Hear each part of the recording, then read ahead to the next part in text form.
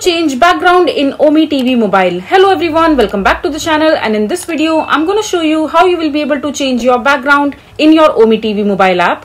So first of all, all you have to do is just open your Play Store or your Apple Store. And after that on the search bar just search for OmeTV and after that just go ahead and download the application in your device. And once you install the application in your device just click on open and open the app and allow the permissions for the app to access your camera and your device setting and just set up your account perfectly and once you're done setting up your account then you can go ahead and explore the settings option from the top right corner when you click on it you will see these options like select your language chat rule user agreement privacy policy logout and other options but you won't be able to see the option to change the background in your OmeTV mobile app. So if you want to change your background in your OmeTV, you need to use the web version of the OmeTV while logging into your account.